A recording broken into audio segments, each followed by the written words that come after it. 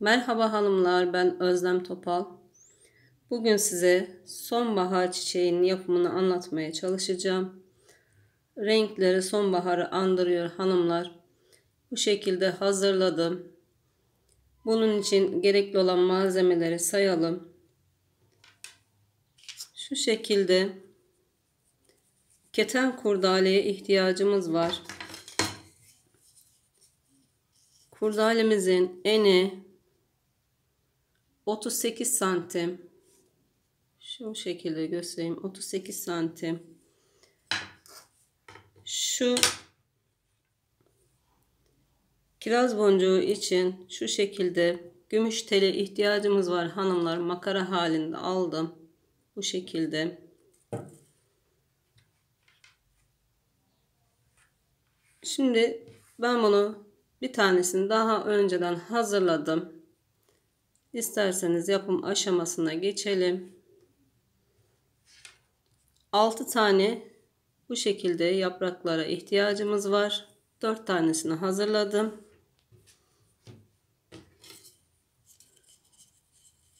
Şu şekilde 38 santimde ne yapıyoruz? Şöyle göstereyim hemen.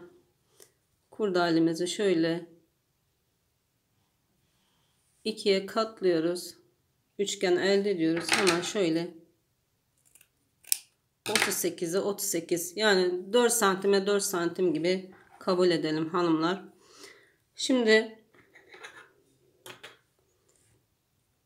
şu şekilde ikiye katladım. Üçgen elde ettim. Bunu tekrar ikiye katlayarak tekrar bir üçgen elde ediyorum. Bakın. Daha sonra bunu yine bu şekilde kapattım bakın. Şuradan fazlalığını hemen şu şekilde keserek yapıştıralım.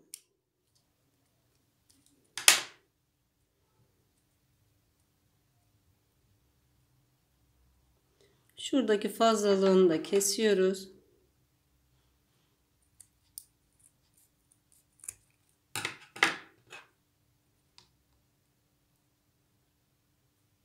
Cımbızımın yardımıyla burayı Bunu güzel bir şekilde yakarak yapıştırmamız gerekiyor. Açılmaması gerekiyor hanımlar. Tekrar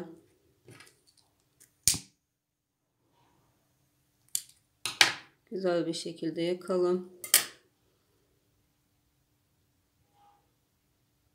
Bu görünümünü elde ettik. Ne yapıyoruz? Hemen bunu yaktığımız yerden ters kısmından bu şekilde hemen döndürüyoruz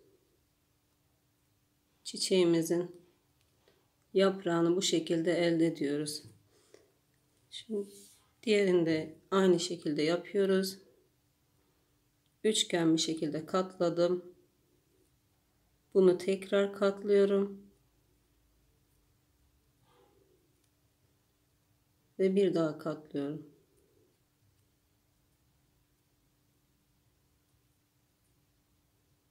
Bu şekilde katladık bakın. Buradaki fazlalığı hemen şu şekilde kestim ve yakıyorum.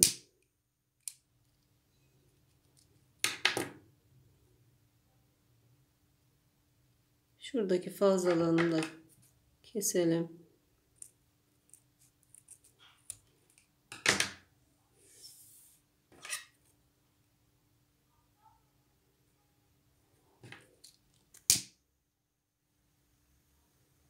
Güzel bir şekilde yakmamız gerekiyor.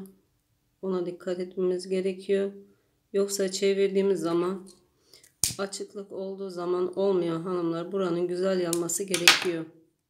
Ona dikkat edelim.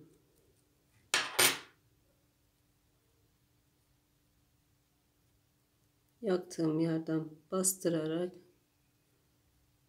Bu şekilde çevirdim. Böylelikle yaprağımı bu şekilde elde ettim. Şimdi yaprağına geçelim. Yaprağı için elimde olan kurdalemin eni 6,5 santim. Sizin elinizde 2 santimlik de olabilir, 3 santimlik de olabilir. Ben hemen onu da kare şeklinde kestim. Bundan 4 tane hemen yaprak elde edeceğim. Elimde olan buydu hanımlar. Şöyle ortadan kesiyorum. Bunu da tekrar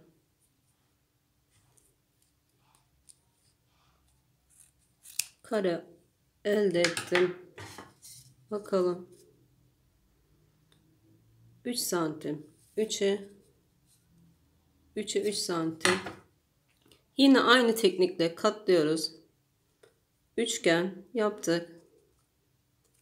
Bunu da tekrar üçgen yapıyoruz. Tekrar aynı şekilde hepsinin eşit gelmesine dikkat edelim. Yaprağımız da bu şekilde oldu bakın hanımlar. Bunun da fazlalığını kesiyorum.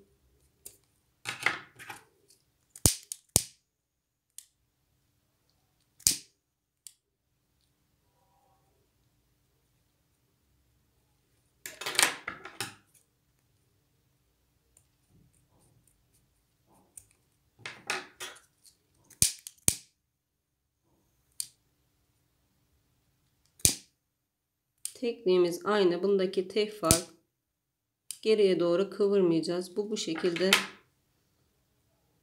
yaprak olarak bu şekilde kullanacağız hanımlar.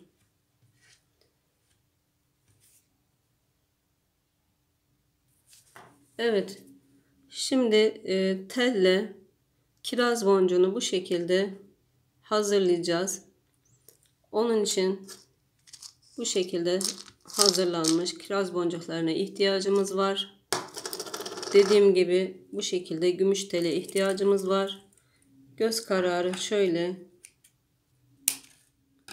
kestim.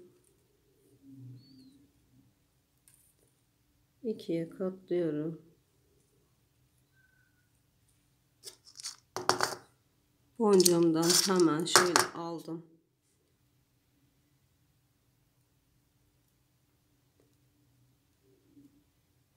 Elinizde eğer yoksa kendinizde sarabilirsiniz hanımlar. Kiraz boncuklarınızda dilediğiniz yapacağınız tokanın renginde sarabilirsiniz.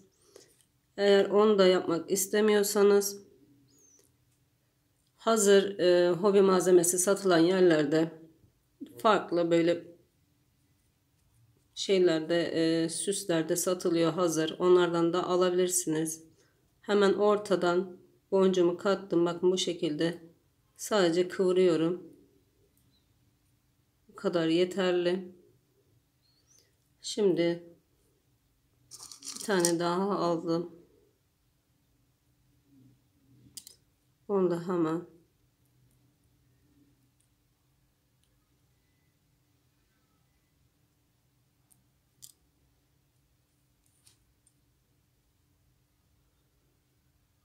2 santim kadar şöyle bakın 2 santim kadar ileriden boncumu yine bu şekilde kıvırıyorum.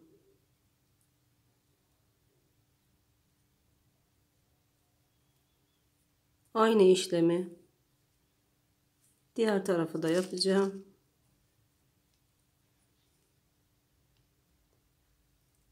Bunu normal Beyaz inciyle de yapabilirsiniz. Bu şekilde bakın kattım. 2 santim kadar ileriden büküyorum. Kendi etrafında bu şekilde kıvırıyorum.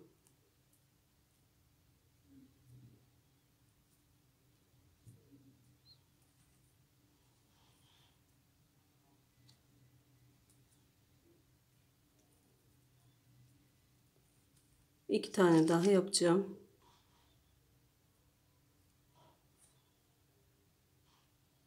Bu şekilde.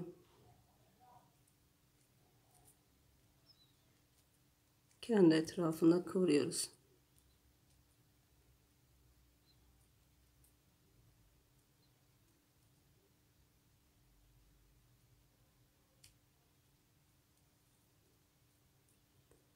Ara mesafesini siz ayarlayabilirsiniz hanımlar. Göz kararı yaptığım için fark etmiyor.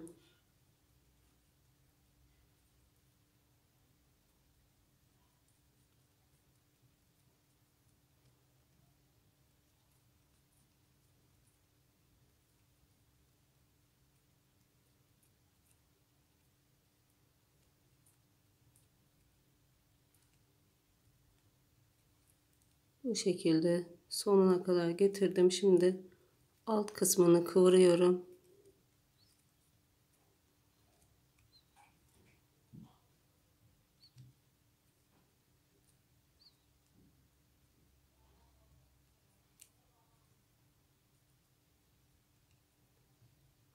Bu şekilde hazırlamış oldum bakın. Telimiz bu şekilde hazır. Bunların altın rengi, altın varaklı gibi olan da var. Sarı. Bu şekilde hobi malzemesinden 6 TL'ye aldım hanımlar. Şimdi bunu da hazırladık.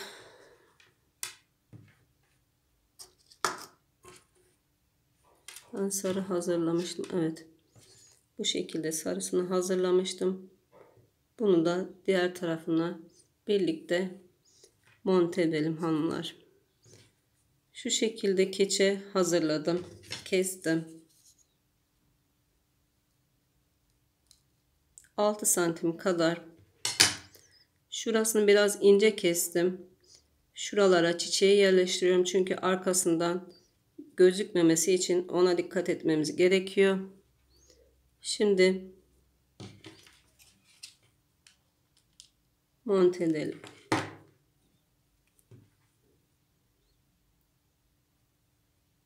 Pardon şunu şu şekilde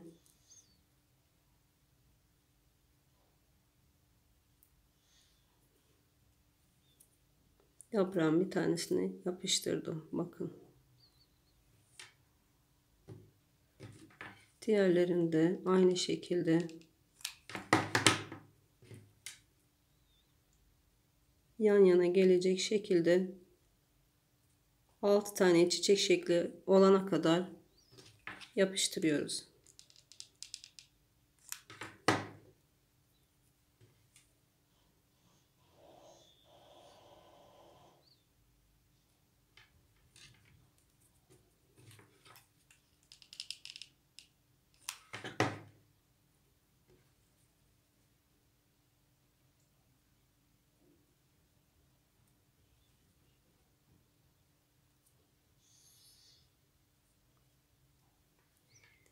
Burada ben telimi yapıştıracağım hanımlar. Şöyle. Şu şekilde telimi kattım.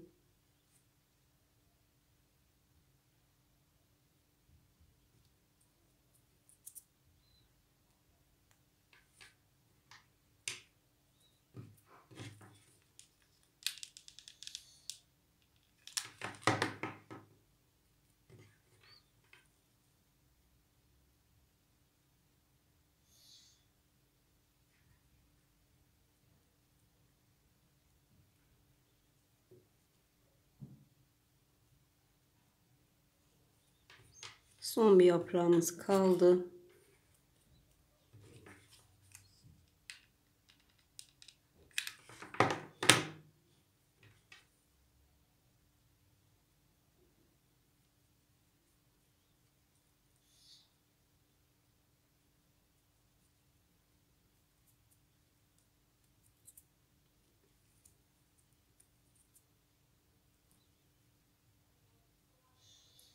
Bu şekilde yapıştırdım.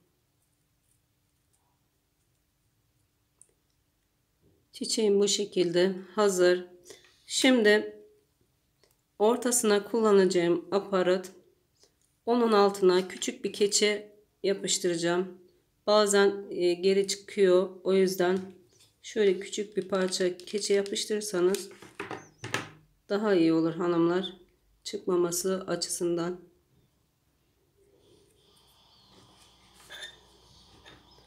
Silikonum çıktı bu arada.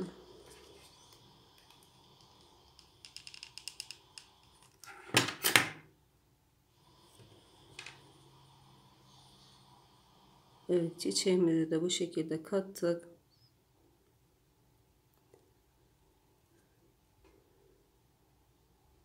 Ben bu modeli e, normal e, tuhafiyede satılan saten kurdaleden denedim. Ama e, kalın olduğu için pek de verimli olmadı hanımlar. Bu kurdalemiz keten kurdale kolaylıkla şekil aldı bakın.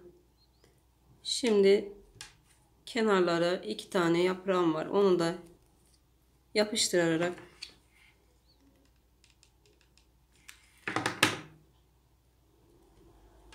tacımı bitirmiş olacağım hanımlar. Şöyle istediğiniz herhangi bir yere yapıştırabilirsiniz. Bakın. Yapışmamış bu. Bunu tekrardan şöyle bastıralım.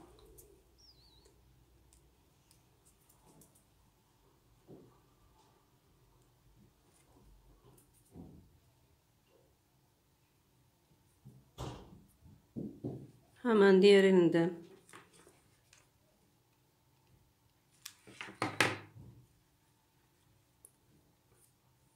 şöyle yan tarafına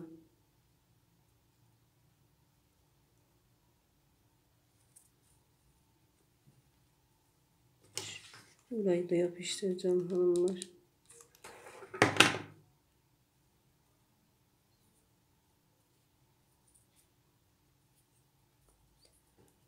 Dilerseniz taç, dilerseniz tekli olarak toka yapabilirsiniz.